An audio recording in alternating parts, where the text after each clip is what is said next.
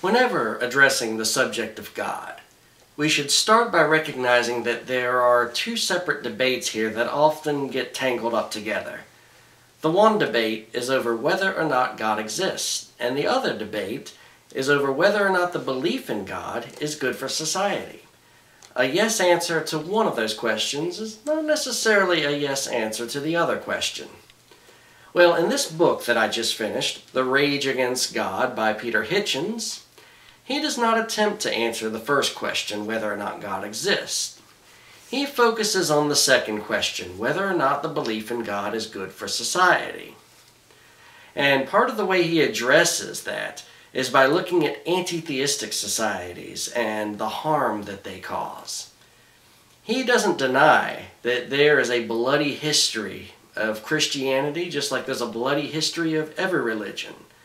But isn't human history very bloody? Isn't human history for, full of war and genocide? It's just unfortunate, but that's the way the world seems to be. The argument of many anti-theists, and I want you to note that an atheist who doesn't believe in God is not necessarily an anti-theist, but an anti-theist who is against God, who is against the belief in God. Many an anti-theist like Richard Dawkins will argue that Christianity and other religions have caused great bloodshed, and they can certainly cherry pick through history to try to prove their point. What they assume, however, is that these wars that were waged in the name of religion actually were caused by religion. They really have no significant evidence for that, and they assume that without the religion these wars would not have happened. Furthermore, they ignore many other points in history where Christian nations have existed in relative peace and harmony.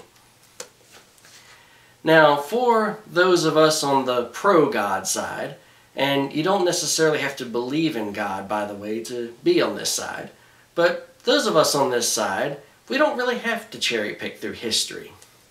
And that's a point I kind of want to add to his argument here. The few examples in human history of truly godless regimes, and I don't mean secular regimes run by people who tend to be Christian or tend to believe in God, that would be the United States, but truly godless regimes run by atheists who hate God and want to remove God from every aspect of society. Well, every single example of them is soaked, drenched in the blood of the innocent. The particular example that Peter Hitchens holds up is the Soviet Union.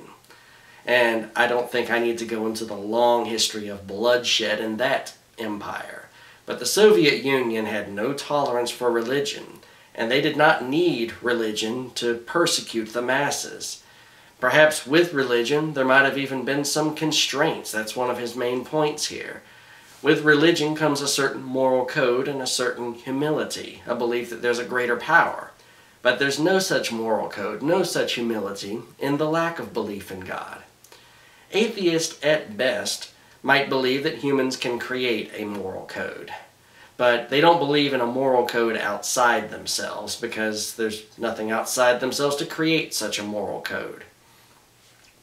And that really is at the root of his criticism of anti-theism. So basically his argument is that Christianity will not make the world a perfect place, but Christianity does make the world a better place. And he articulates that very well by pointing out the civility that is still to be found in Great Britain. Despite the decline in religion, Britain, as he says, is still in the afterglow of Christianity and many of the customs and practices that are rooted in religion are still present in Britain and will be at least for some time. I'm going to add further to his argument. The very ideology of classical liberalism, the very ideology that many anti-theists will cherry pick through in order to push their agenda, well, that ideology is rooted in Christian thinkers, and furthermore, it is rooted in Christian philosophy. It's actually rooted in the teachings of Jesus Christ. Jesus himself said, Render unto Caesar that which is Caesar's, and unto the Lord that which is the Lord's.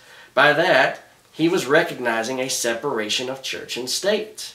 He was recognizing that we should have one loyalty to the civil authorities, in that case the Roman Empire, and a separate loyalty to the established church or synagogue or temple of his time. I could certainly go on and on, and the thinker Roger Scruton would probably articulate this better than I would. But the whole point is, secular liberalism, ironically, is actually rooted in Christian philosophy. And the anti-theist is holding up Christian ideals when they hold up these ideas. Now, the anti-theist can certainly be part of this Christian ideal, but if they seek to persecute Christians in the name of that ideal, they turn the whole ideal on its head.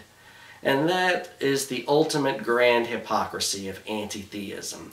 And it's also the grand hypocrisy of this totalitarian brand of pseudo-liberalism that seems to be taking over much of Europe today. There's also such elements to be found here in the United States, but they're much weaker. You can find many of them here on YouTube, and I'd rather not give them any attention, but they certainly exist here. Um, couple of final notes I want to make. On a personal note, I want to say to Peter Hitchens, if you ever see this video, thank you. I spent some time in England, a little over a year and a half, and I didn't have a very good experience. It left me with a bitter taste in my mouth, and from what you describe here, I think you can imagine why. For a little while I was angry at England, but that anger has recently passed, and it's in part thanks to this book. I realize now that it, it's not England that I was angry with, it's the ugly side of England, the side that I unfortunately was immersed in. That ugly side of England is very powerful in London. It's much weaker in the north of England, other parts of England I'm sure. But to the English people who care about your traditions, and to Peter Hitchens, let, let me offer you some advice. I couldn't help but notice in the end, Peter Hitchens, that you sort of touched on a fallacy. The fallacy being that the growth of Islam is somehow equivalent to the decline in Christianity. You mentioned that the next king might be coronated in a multi-faith ceremony. Well, if the king is coronated in a multi-faith ceremony, that's not part of the rage against God, is it? After all, don't Muslims also believe in God? Don't they love God? Don't Hindus love God and Jewish people and so many other faiths? England becoming multi-faith is not something I think you should be worried about. Remember that a new mosque does not mean the absence of one church. One more mosque is not one less church. The growth of Islam does not mean the decline of Christianity there's no reason that the two faiths can't grow together. The reason I keep mentioning Islam in particular is it probably is the fastest growing religion in England right now, and it's the one that many English conservatives are worried about. Well, the totalitarian pseudo-liberals want you to be angry with Islam. They want to hold that up as an example that you're backwards and prejudiced. My advice is completely turn the tables on them Embrace your Islamic brothers. They are not part of the problem. They are not a threat to you. And they are not so foolish as to think that these pseudo-liberals are really their friends. I had many Islamic friends when I was in England. I was a little put off by them at first, I admit, because when I first went to England, I expected to find England, and I didn't find England, at least not very much of it. The Muslims are certainly different. They are a different culture but at least they're a culture. The pseudo-liberals, as you know, they bring down culture. They bring down civilization. We saw that in the Soviet Union. The ruins of a once great Russian civilization are described in this book. That is the inevitable result of their totalitarianism. They want to remove anything that gets in the way of their power. Now, the very last thing I want to do is elaborate further on one of his criticisms of the anti-theist. He quoted Richard Dawkins as having said that the only thing worse than the Catholic priest molesting children is having raised them to be Catholic in the first place. Richard Dawkins has been known to say this many times. I don't know if he's retracted that statement since. But if he has not, I definitely want to address this. If we were to follow that logic, then it leads to the conclusion that child molestation is not as bad as Catholicism. It leads to the conclusion that a child would be better off in an atheistic family that molests them than a Catholic family that doesn't molest them. To Richard Dawkins, if you ever see this, think about this for a moment. If we were to randomly select a group of people who had been molested as children but are not Catholic, and we were to ask them, would you rather have been molested or have been Catholic? How many of them do you think would say molested? I think we both know the answer to that. It's probably a big fat zero. I think that what Richard Dawkins said was just very disrespectful to people who have suffered, who have been molested.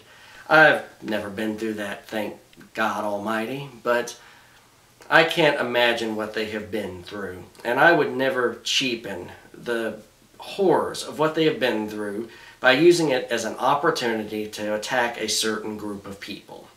I think that Richard Dawkins owes an apology to victims of molestation everywhere. Thank you all for watching my video. I hope you will read this book, whether you are a believer in God or even if you're an anti-theist. And to the anti-theist out there, I think you will find Peter Hitchens far more articulate than many of the fundamentalists that you're more accustomed to and perhaps more comfortable with arguing against. Thank you.